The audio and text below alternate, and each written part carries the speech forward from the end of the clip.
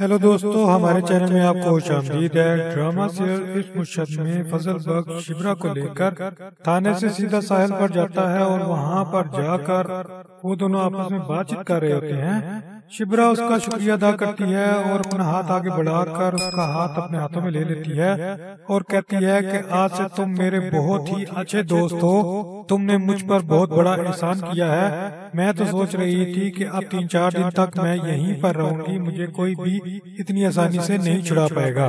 फजल बख्श यहाँ पर उसे कहता है कि जब से तुम जेल में गई हो, मेरा दिल उस वक्त से पड़पड़ा रहा है मैं बहुत ज़्यादा बेबस हो रहा हूँ और अगर तुमको यकीन नहीं आता तो तुम मुझे बताओ। मैं तुम्हारे सामने इस समंदर में छलांग लगाकर डुबकी लगाकर आ जाता हूँ। तो शिवरा हंसकर उसे कहती है नहीं मुझे तुम्हारी बातों पर यकीन आ रहा है और मुझे पता है कि तुम एक मुखलिस और सच्चे इंसान हो। और मेरे बहुत ही अच्छे दोस्त हो। फिर वो उसको कहती है कि तुमने मेरा हाथ पकड़ा हुआ है तो वो एकदम हैरान होकर पीछे कर लेता है और तो उसको कहता है कि माफ़ करना बस ये छोटी छोटी सी खुशियाँ हैं। जो मुझे चाहिए होती हैं, मैं कोई बहुत बड़ी डिमांड नहीं रखता। फिर उससे मजीद प्यार भरी बातें करना शुरू कर देता है, लेकिन अपने आप को कंट्रोल करते हुए उसको एक किस्सा कहानी सुनानी शुरू कर देता है कि गुलाबान की हालत तो देखने वाली थी, तुम्हें नहीं पता, गाँव में मेरे साथ एक बंदे ने इसी तरह का काम किया था, इसी तरह की हरकत की थी तो मैंने उसको मुक्कों से, लातों से मारा था। शिबरा यहाँ पर हंसती है, मुस्कुराती है तो वो कहता है, तुम्हें यकीन नहीं आ रहा?